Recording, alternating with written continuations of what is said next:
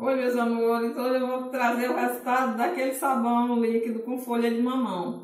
É porque ainda tem algumas pessoas que diz que faz e talha ou separa. Então eu vou mostrar, é o segundo sabão que eu já fiz com folha de mamão. E todos os dois deram certo, não separa e nem fica nada de ruim não. Fica normalzinho mesmo. Eu vou mostrar para vocês agora. Como tá uma beleza, não separou, não, não ficou nem separado e nem... Não sei qual outra palavrinha que ela falou, separado.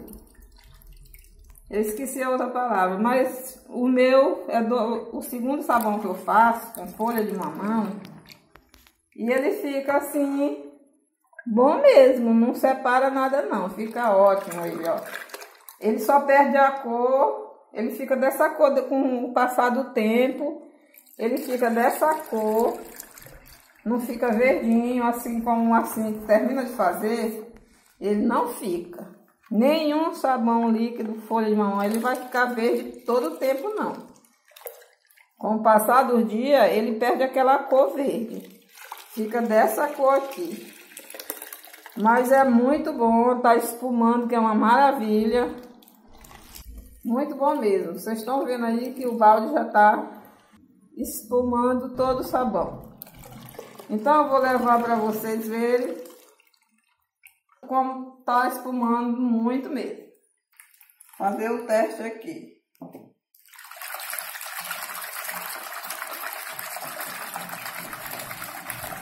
Olha só. É muito bom esse sabão. Espuma, que é uma beleza. E eu coloquei o sabão em pó da Omo. Fica aquele cheirinho maravilhoso de Omo. Não fica cheirando a, a folha, não, essas coisas não. Fica aquele cheirinho de Omo maravilhoso mesmo. É muito bom. Se colocar o sabão em pó, então fica maravilhoso ainda mais que fica aquele cheirinho agradável, muito bom. E como vocês estão vendo, ó, olha o tanto da espuma que tá fazendo, ó. Espuma que é uma maravilha mesmo. Esse é o meu segundo sabão líquido com folha de mamão, é o segundo.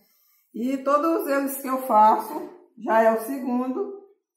E fica assim, Ótimo mesmo, não separa, não, não fica talhado. Ah, é talhado que a moça falou.